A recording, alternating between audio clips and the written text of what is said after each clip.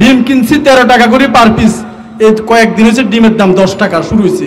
India থেকে এখন ডিম আসা শুরু করছে, ডিমের দাম দশ টাকা। আমাদের যে সমস্ত মজুদদার, দালাল, চোরাকার বাড়ি, তারা এখন বাধ্য হয়ে ডিমের দাম তেরো টাকা থেকে দশ টাকা আনতে বাধ্য করছে। তাইলে যেই দেশ থেকে আসতেছে, ওরা তো হিন্দু। আর আমরা তো মুসলমান। ওই দেশ থেকে ডিম না আসলে আমরা তেরো টাকা। আর ওই দেশ হিন্দু দেশ থেকে ডিম আসলে আমাদের দিন দশ টাকা। তাহলে ইমান কার বেশি বলেন? গরু খাওয়া মুসলমান হওয়া যাবে না। শুধু অনেক বড় বড় দাড়ি, লম্বা জুব্বা, টুপি পরি এই জায়গায় আমি হাদিস কোরআন থেকে বয়ান করে চলে গেলাম। কিন্তু আপনাদের মধ্যে কিছু ঢুকলো না। লাভ কি বলেন? রিক্সাওয়ালা বাবা, একটা ঠেলা গাড়িওয়ালা বাবা ভ্যান গাড়িওয়ালা বাবা, বাচ্চাকে যে দশ টাকায় জালমুড়ি দিবে, সেটাও এখন সম্ভব না। জিনিসপত্রের তো দাম বাড়তেছে। দাম বাড়ায় কারা? যারা বড় বড় দশতলা, বিশতলা, পঁচিশতলা, তিরিশতলা বিল্ডিং এর মধ্যে থাকে, চট্টগ্রামের বড় বড় আলিশান বিল্ডিং এর মধ্যে থাকে তারা দাম বাড়ায়। দাম কোনো বস্তির মানুষে বাড়ায় না। ছবি তুলবে ও আল হাসানি ওয়াল হুসাইনি। আমি নিজে আমার জবানে নবীজিকে ডাক দিয়েছিলাম। আমার নবীকে দেখতে চায় তো সুবহানাল্লাহ আরও আসতে হবে না? জোর হবে। তিনবার সুবহানাল্লাহ বলেন তো সুন্দর করে সুবহানাল্লাহর মধ্যে লাভ আছে কিনা? সোয়াব আছে কিনা? এবার চিৎকার দিয়ে বলেন জান্নাত আছে কি? আমলের মধ্যে কমপক্ষে পনেরো পাওয়া যাবে। তারা জান্নাতে প্রবেশ করে।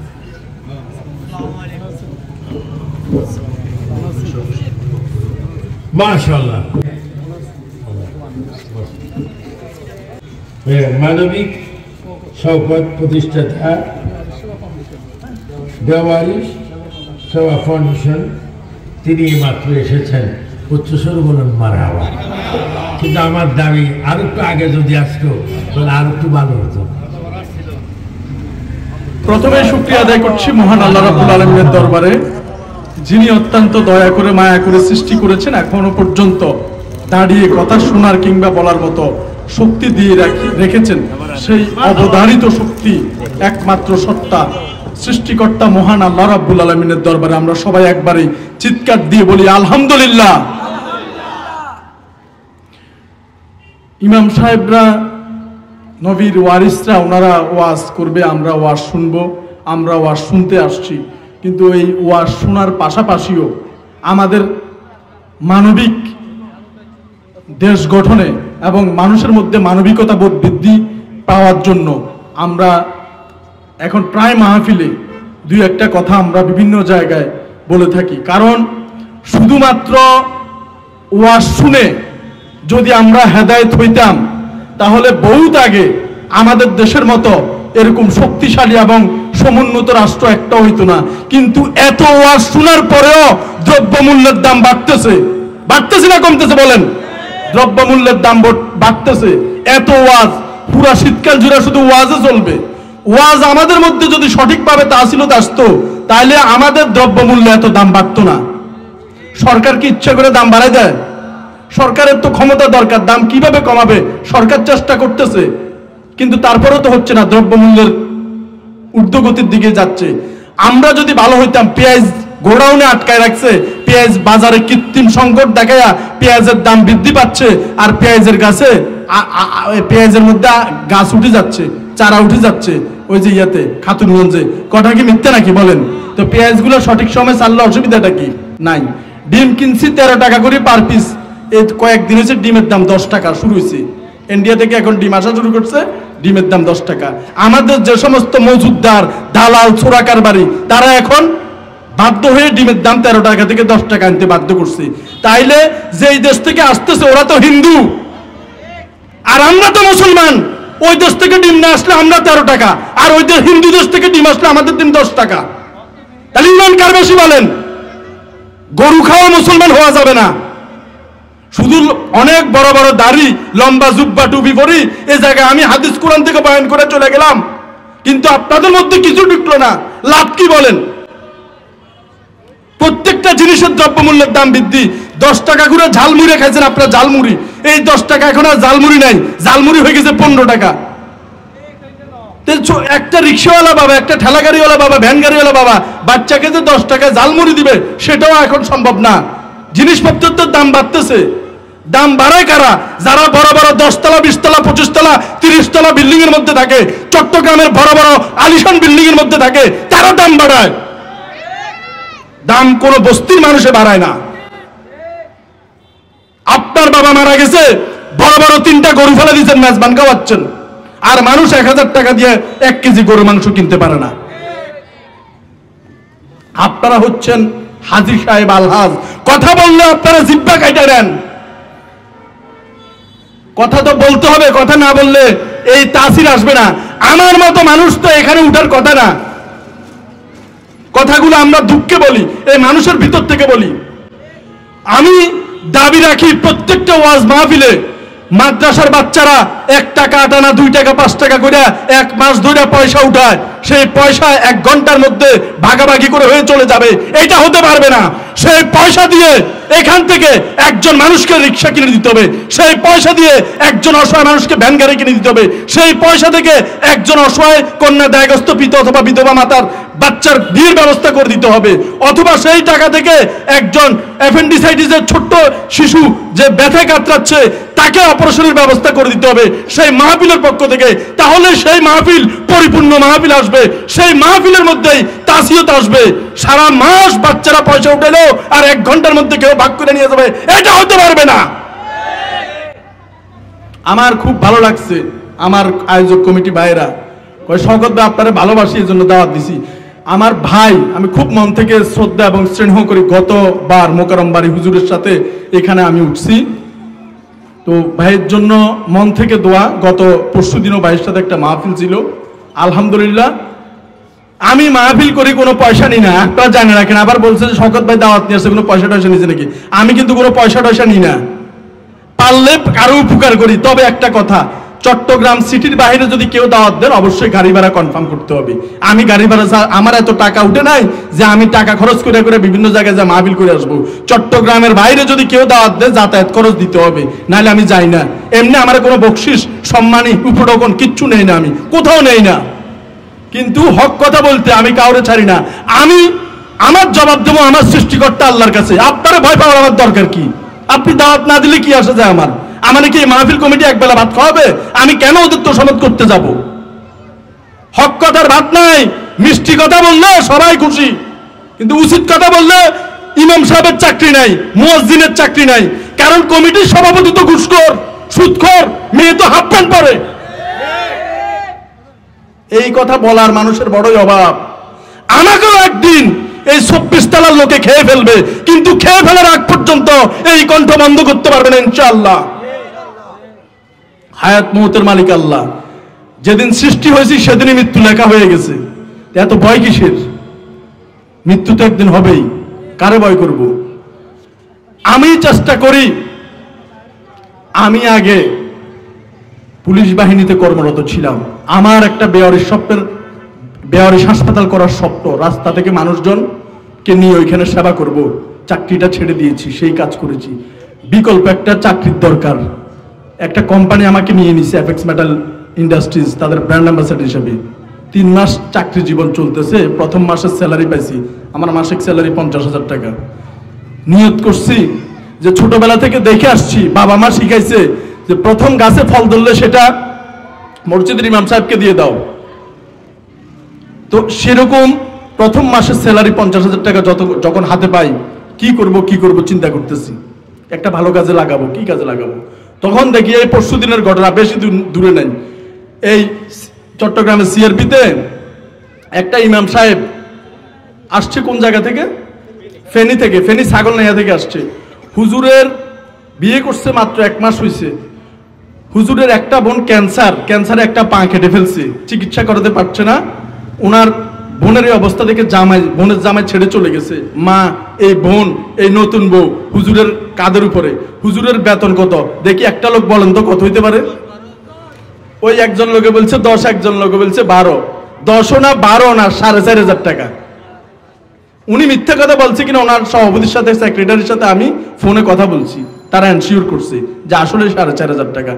সাড়ে চার হাজার টাকা দিয়ে কি এখন দুনিয়া চলে বলেন? এই ওনাদের পক্ষে কথা বলবে কে বলেন? কত রকম গন্ডগোল চলতেছে দেশে?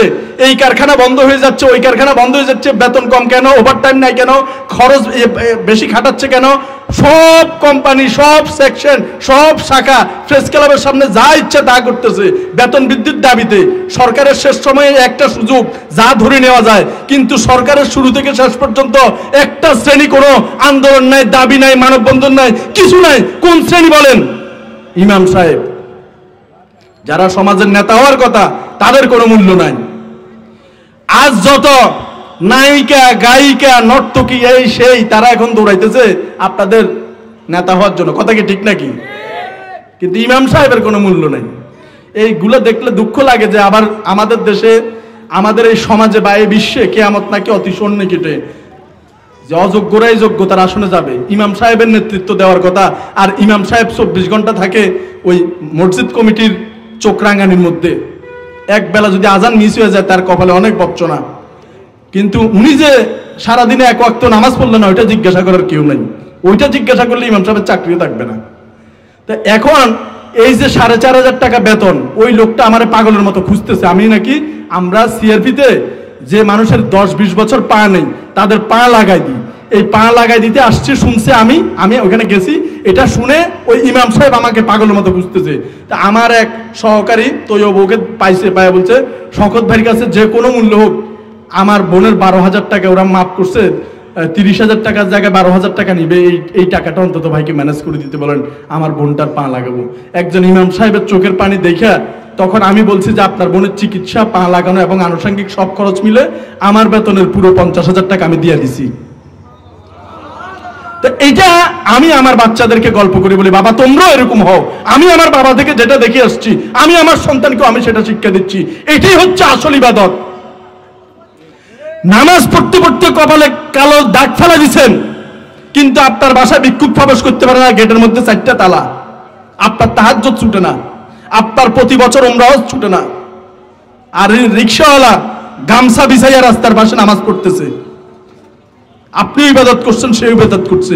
এই গামছা বিছানো রিক্সাওয়ালা কোনোদিন হজ করতে পারবে না। তার কপালে হজ নাই, কারণ এত টাকা সে জোগাড় করতে পারবে না। তাইলে চিন্তা করেন, তারও ইবাদত আর ওই বিশতলা বিল্ডিং এর মধ্যে দরজা বন্ধ করে এসি রুমের মধ্যে তারও ইবাদত। দুইটাই কিন্তু একসাথে ইবাদত হচ্ছে। কার ইবাদত কবুল হবে আপনারাই বলেন। কারণ রিক্সাওয়ালা একটা মানুষ যদি সিএনজি থেকে পড়ে যায়, দৌড়ে এসে গিয়ে উঠানোর চেষ্টা করে।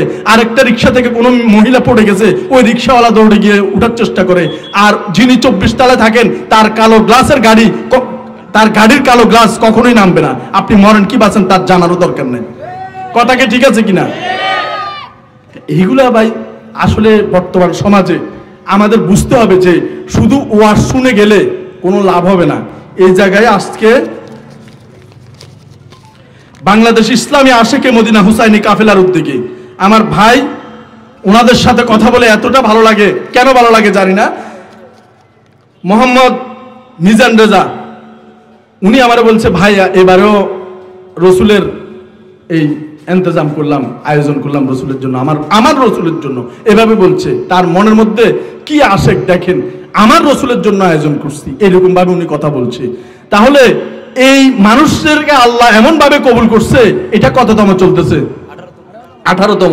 ইনশাল্লাহ একদিন এই মাঠে আঠারোশতম হবে ইনশাল্লাহ তো আমি ওনাদের যে এই মানবিক কর্মকাণ্ডগুলা, ওয়াজের পাশাপাশি যুবকদের, এখানে আমাদের যুবক ভাইরা বেশি, কারণ যুবক ভাইরা কিন্তু এই যে কোরআনের হাফেজ না। ওনারা কিন্তু ওনাদের মধ্যে যেরকম আমরা, আমাদের ইমাম সাহেবরা, নবীর ওয়ারিসরা যেরকম ওয়াজ করতেছে, এই ওয়াজের পাশাপাশি ওনাদেরকে মানবিক গুণাবলী আমরা ঢুকাই দিতে হবে ভিতরে, যাতে তারা মানবিক কর্মকাণ্ড যদি করে, তাহলে আল্লাহ তালার ভয় থাকলে অবশ্যই মানবিক কাজ করবে।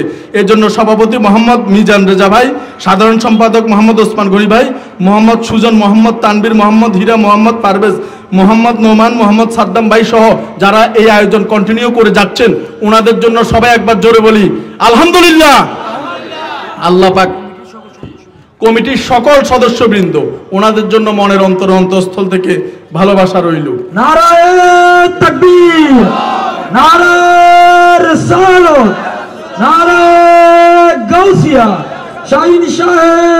মদিনা, প্রধান আলোচকের আগমন।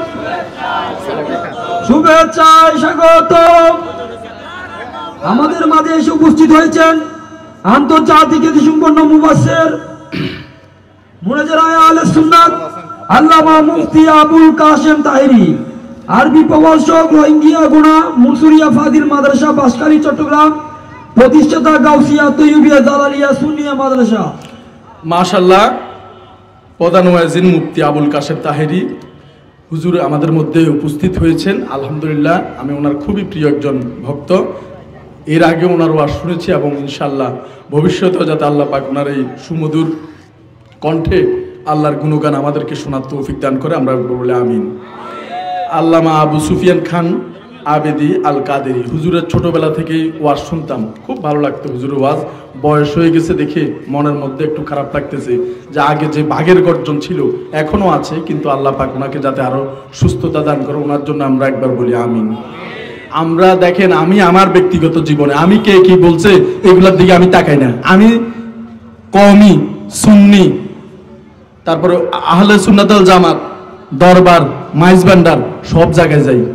সবাই আমার আল্লাহকে ডাকতেছে। যে যেভাবে পাচ্ছে আমার আল্লাহকে ডাকছে। কমির কোনো বড় ওস্তাদ, বড় হুজুর হেঁটে হেঁটে দর্শন করতেছে, চুরি করতেছে, কোনো কেউ দেখাতে পারবেন?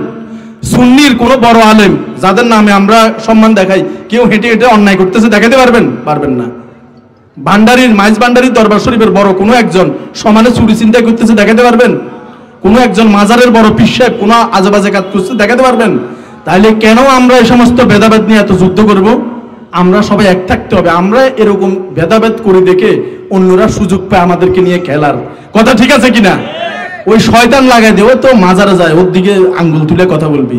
আরে ও তো আলে সুন্নতল জামাল, ও কি বুঝে? ওর দিকে আঙ্গুল তুলে কথা বলবি। আরে কমই, ও তো ওয়াবি, ওর দিকে আঙ্গুল তুলে কথা বলবি।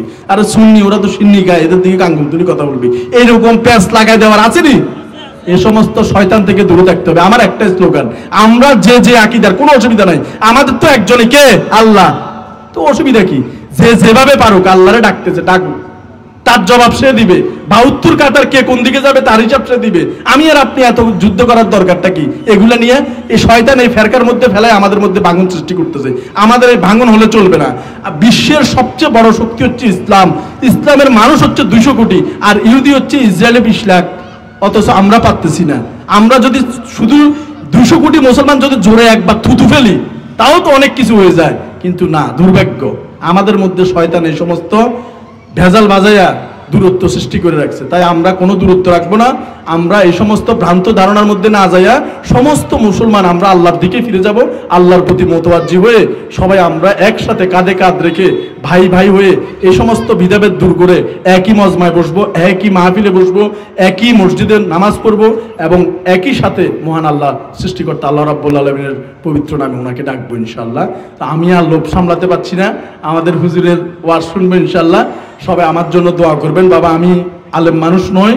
আমার কথার মধ্যে যদি ভুল ত্রুটি হয়ে কোনো মানুষ মনে কষ্ট পেয়ে থাকেন, আমাকে ক্ষমা করে দিবেন। আমি এখান থেকে যাইতে যাইতে হয়তো দুনিয়া থেকে চলে বলা যায় না। সব কিছু হায়াত মতো আল্লাহ রাতে আবার হয়তো বা পঞ্চাশ বছরও কিছু হবে না, অথবা যাওয়ার সময় দুনিয়া থেকে শেষ হয়ে যেতে পারি। আমি এখানে ওঠার অন্যতম উদ্দেশ্য হচ্ছে, আমার মা এবং বাবা দুজনে দুনিয়াতে নাই। আপনারা যদি সম্ভব হয়, একবার আমার মা এবং বাবার জন্য দোয়া করবেন। আমিন। ইনশাআল্লাহ এইটা আর কিছু না, এইটুকুর জন্য আসছি। এবং নবীর ভালোবাসায় এই মাহফিল যতদিন থাকবে, আল্লাহ তালা যদি বাঁচায় রাখে এবং ওনারা যদি আমন্ত্রণ করে ইনশাল্লাহ এভাবে আসব। এবং আল্লাহ তালার কাছে আপনাদের সহ দোয়া করব, আল্লাহ তালা যাতে আমাদেরকে মৃত্যুর পরে একসাথে জান্নাতবাসী করে। আসসালামু আলাইকুম রহমতুল্লাহ বরকাত